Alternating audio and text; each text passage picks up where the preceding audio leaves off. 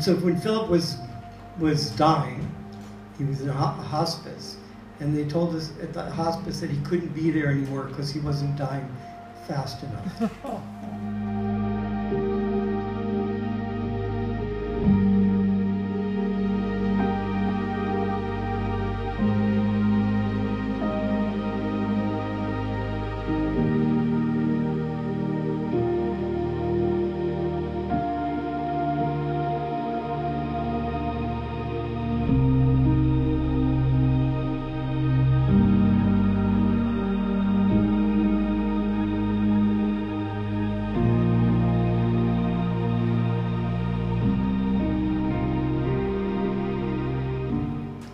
The monster beauty moon rises over vineyards, apple orchards, and ancient redwood forests.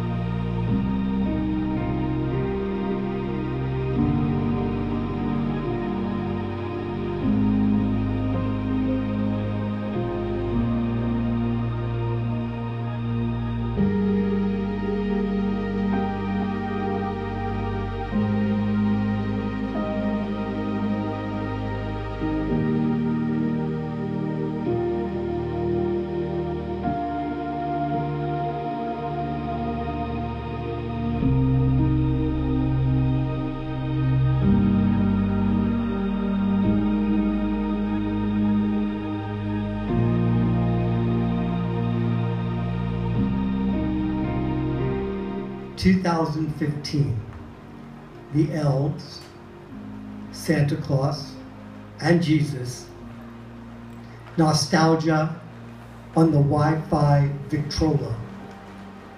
Here, the band-tailed pigeons feast in red-berried Pacific madrone.